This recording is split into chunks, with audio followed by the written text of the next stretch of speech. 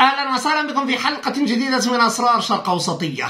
اختراق سيبرنيتي للثالوث النووي على الساعة الثالثة عشر وإحدى يعني حوالي الواحدة الواحدة ظهرا وحد عشر دقيقة بتوقيت موسكو.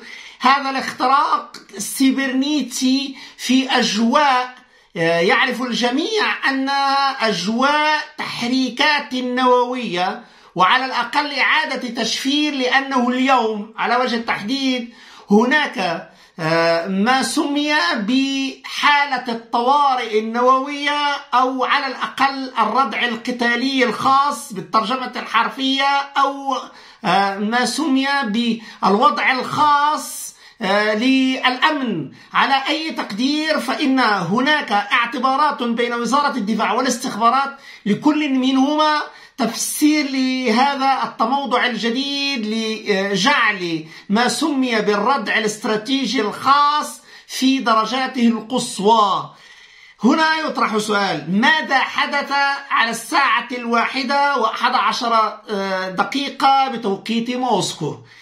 هل أراد الأمريكيون من خلال هذا التأهب الوصول إلى ما لدى الروس من جهة؟ هناك أولا حوالي السبع وعشرين في المية إلى حدود هذه اللحظة لا يعلم عنها العالم شيئا. سبع وعشرين في المية من البرنامج النووي الروسي أو الاستراتيجي أو ما سمي بالاستراتيجي وغير النووي 27% منه لا يعرفه أحد سوى الطاقم المقرب من فلاديمير بوتين. إذا هذه نقطة أساسية للغاية. ومحاولة الأمريكيين الوصول إلى اختراقات في هذه الأجواء وحالة التآهب النووي قائمة.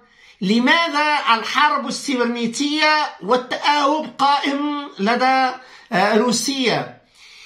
العملية كلها أن الكريملين هو الذي يحاول الغرب الوصول إليه. وهناك هجمات اعترف بها بيسكوف بأن هناك هجمات على الكريملين. لكن هذه الهجمات هي بالأساس إلى حدود هذه اللحظة. مثلا مثلا فبالنسبة لبوتين لا, لا, لا يوجد الآن على الأقل في الكرملين. المسألة الثانية أنه يباشر شخصيا ما سمي بهذه الإجراءات الاستثنائية. فأول من أخذ بها هو بوتين نفسه. المسألة الثالثة أن لا إمكانية اليوم لأي أحد سوى لرئيس الأركان ووزير الدفاع وبوتين بعيد عن أي شخصية أخرى.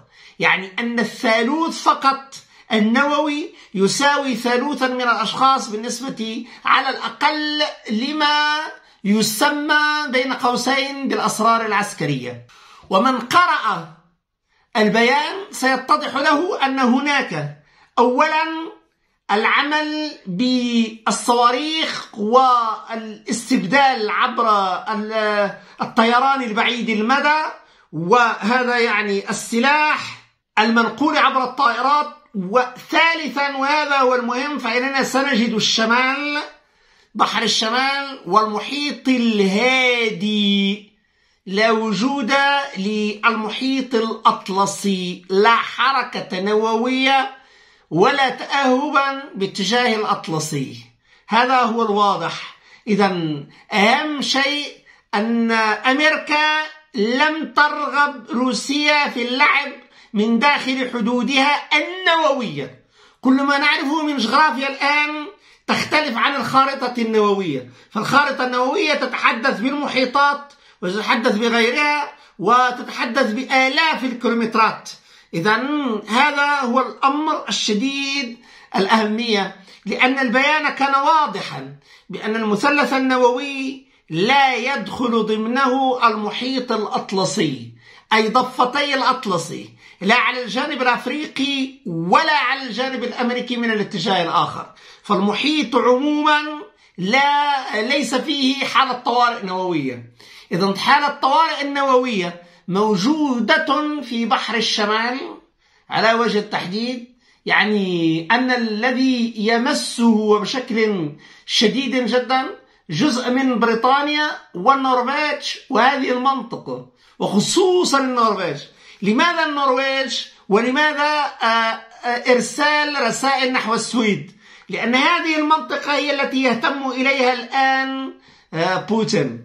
أما بالنسبة لشرق أوروبا فكأنه حسمه بدخول أوكرانيا. والذي فاجأه على وجه التحديد هي الإجراءات التي قادتها هذه الدول من باقي شرق أوروبا.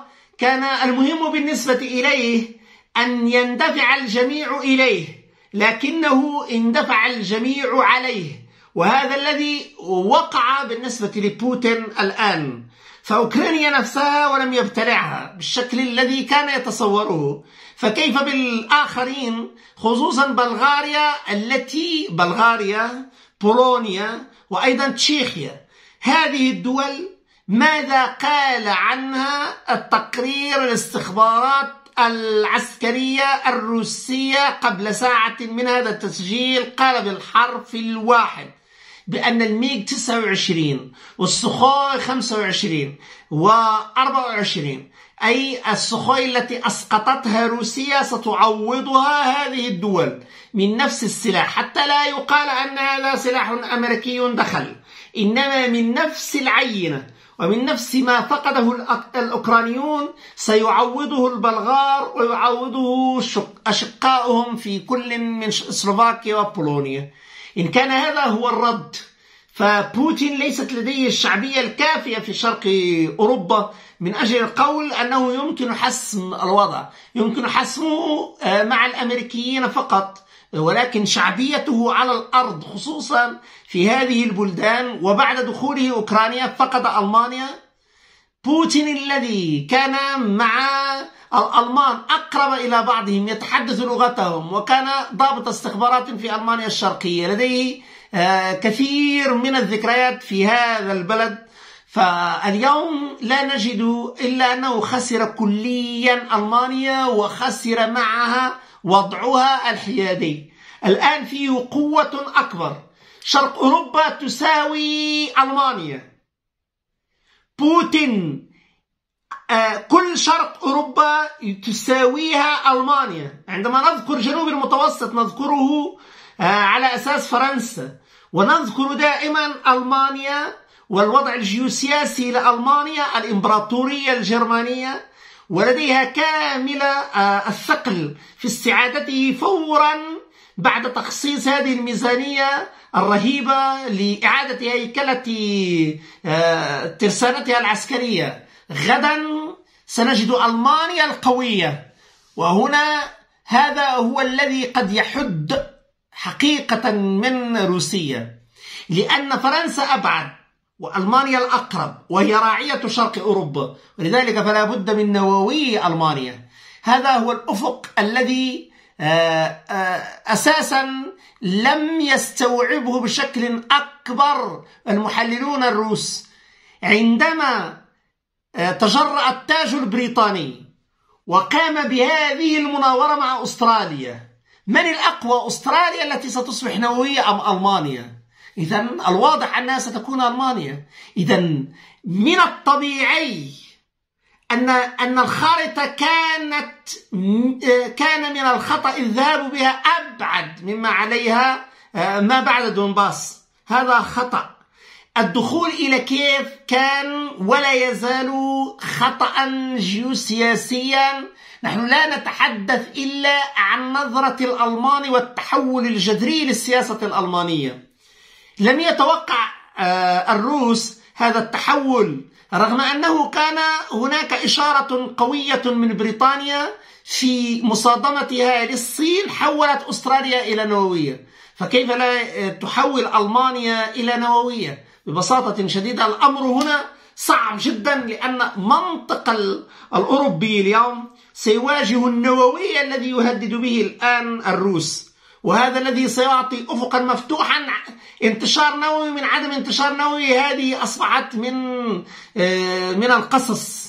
وكل النظام اليوم دفن بالنسبة للنظام آه، العالمي الجديد. إذا أهم ما نراه الآن خصوصا أن المناورة التي يقودها بوتين لديها خلفية ومعرفة هل هناك إمكانية الاختراق أيضا؟ وبالنسبة للغرب فهو يجرب الاختراق.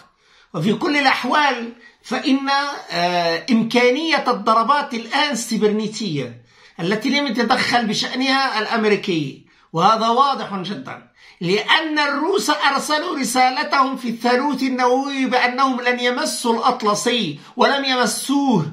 مسوا الهادي ومسوا غيره ومسوا ما تبقى. لكن المحيط الأطلسي لم يقربوه. لذلك فالأمريكيون لا شأن لهم بهذه الهجمة السيبرنيتية. إذا الهجمة السيبرنيتية لا يريدها الألمان يريدها الفرنسيون. آه، قد يدعمها البريطاني ولكن من شرق أوروبا. إذا شرق أوروبا هو الذي يريد أن يصل إلى هذا الثالوث إلى إلى هجمة سيبرنيتية قد تكون من طرف الأمريكيين فوق هذه الأراضي. لكن على العموم فإن الهجمة السيبرنيتية للساعة آه، الواحدة آه، الواحدة ظهرا و11 يعني أن الأمر يتعلق بضربة استثنائية معروفة. هذا يكشف إلى أي حد تريد شرق أوروبا أن تعطي الدرس. درس أن أيضا آه، التهديد بالنووي هناك السبرنيتي وهذا شيء شديد الأهمية لأن ما يجري أخطر بكثير في الكواليس. شكرا جزيلا وإلى اللقاء.